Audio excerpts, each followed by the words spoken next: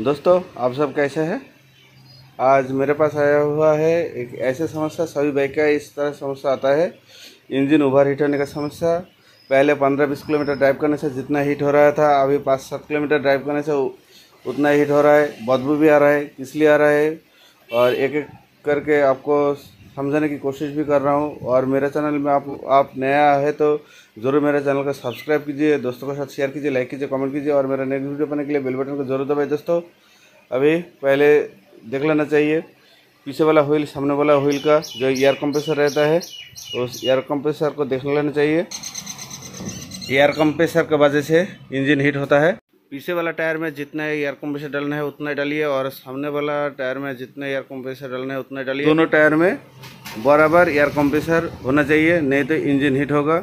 और बाइक थोड़ा देर ड्राइव किया, उस टाइम ड्राइव करने के बाद आके पार्क किया, उस टाइम बदबू आ रहा है कुछ जलने का बदबू आ रहा है तो उस टाइम आपका इंजन ऑयल कितना चला है, ज़्यादा ख़राब हो गया तो कुछ जलने का बदबू आ रहा है। तो इंजन ऑयल को चेक चेक कर लेना चाहिए। और किसी ने आकर बोलता है, मैंने पाँच दिन, सात दिन पहले इंजन ऑयल चेंज किया, उसके बावजूद इंजन इतना हीट हो रहा है। तो आपको यह देख लेना चाहिए जो पीछे वाला व्हील है और सामने वाला, ये जो व्हील है व्हील फ्री घूमना चाहिए। सामने वाला व्हील भी उस, उसी तरह ही फ्री घूमना चाहिए। नहीं तो इंजन हीट होगा, उसमें ज़्यादा लोड पड़ता है, इसलिए हीट होगा। और जो ब्रेक पैडल है ब्रेक पैडल देखिए इस पीछे वाला व्हील फ्री है।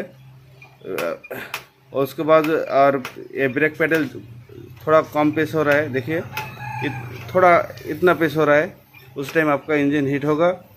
पीछे एक आदमी बैठेगा तो इतना प्रेस होगा नहीं इस टाइम पैर भी रहता है उस टाइम आपका इंजन में लोड पड़ता है इसलिए इंजन का ओवर हीट होता है। इसलिए इसका जो पीछे वाला ब्रेक सामने वाला ब्रेक थोड़ा प्रेस होना चाहिए, फ्री होना चाहिए। इस, इतना फ्री में चलेगा नहीं और थोड़ा फ्री होना चाहिए। दोस्तों, नहीं तो इंजन जल्दी पाँच सात किलोमीटर चलने से हीट होगा। और और एक वजह है, जो ट्रैफ़िक है, जो ऊपर का ट्रैफ़िक है, पेट्रोल का ट्रैफ़िक है, एग्जिट का ट्रैफ़िक है, साइलेंसर का एग्जिट जो ट्रैफ़िक है, वो एग्जिट ट्रैफ़िक टाइट हो गया, थोड़ा टाइट हो गया तो आपका इंजन ओवर हीट होगा। इसलिए दोनों ट्रैफ़िक को एडजस्ट करना ज़रूरी है।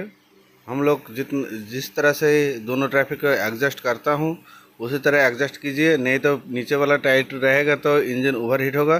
दोस्तों, मैंने जो जानकारी आप लोगों को बताया, तीन चार वजह बताया, उस वजह से इंजन ओवर हीट होता है और बदबू भी आता है। इंजन ऑयल ज़्यादा ख़राब हो गया तो उस टाइम जलने का बदबू आता है। दोस्तों, इस तरह जो बात बताया दोस्तों आप लोगों को, इस तरह कीजिए, आपका प्रॉब्लम सॉल्व होगा। और आप लोगों को अच्छा लगे तो ज़रूर कमेंट कीजिए। और कमेंट करने से करने से हम लोगों को इस तरह वीडियो बनाने के हौसला मिलता है। दोस्तों, और टोटली इस तरह करना चाहिए। आपका टायर का एयर कंप्रेसर सही है, ब्रेक पेडल थोड़ा प्रेस हो रहा है, सामने पीछे वाला ब्रेक, व्हील फ्री है, इंजन ऑयल सही है, उस तरह हीट होगा। पंद्रह बीस किलोमीटर चल, ड्राइव करने से जितना हीट हो रहा था, उतना ही हीट होगा। नहीं तो पाँच सात किलोमीटर ड्राइव करने से ज़्यादा हीट हो जाएगा।